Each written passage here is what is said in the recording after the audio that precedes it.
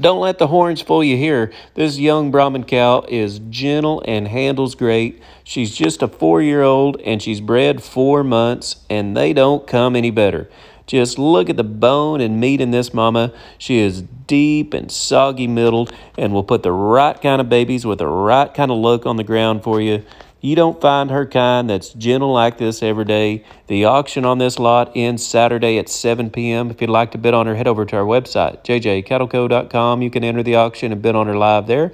Have any questions about her or the auction, just get in contact with us. Thanks for watching.